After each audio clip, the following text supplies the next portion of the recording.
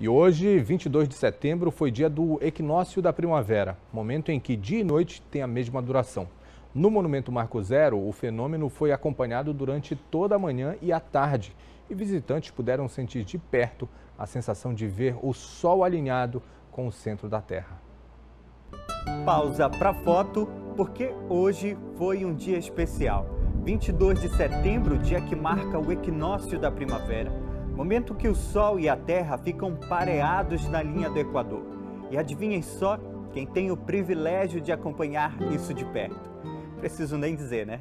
Agora, 10h31 da manhã é o momento exato que o Sol está alinhado com o centro da Terra.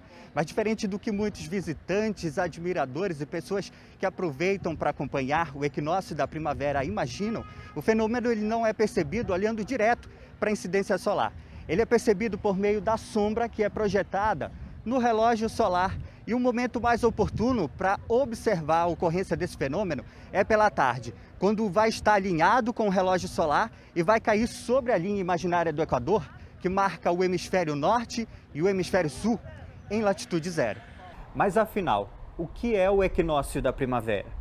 O equinócio da primavera é o alinhamento do Sol com o centro da Terra. É exatamente agora às 10h31 o Sol vai estar alinhado com o centro da Terra.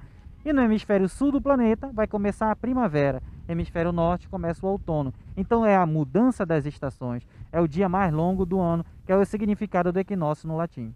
Fenômeno que influencia inclusive nas ações da natureza. Três dias antes, durante e três dias depois do equinócio é o período das maiores pororocas do Amapá. E olha só que curioso, ao meio-dia o Sol estava incidindo exatamente no centro da Terra.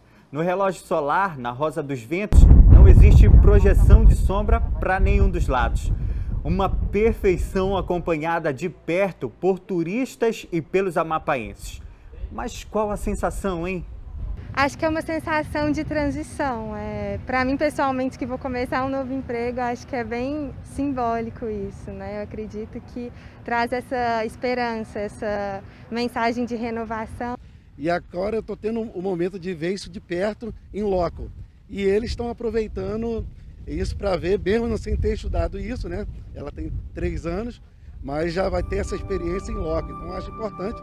E além da gente é, valorizar os espaços públicos da nossa cidade, né? E por conta da pandemia, o uso dos equipamentos de proteção individual foram obrigatórios e todo mundo atendeu a recomendação.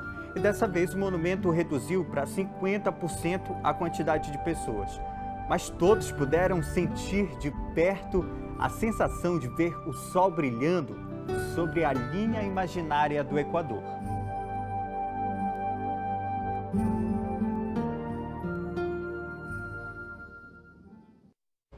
Cada coisa marcante que a gente tem, que a gente tem que valorizar cada vez mais.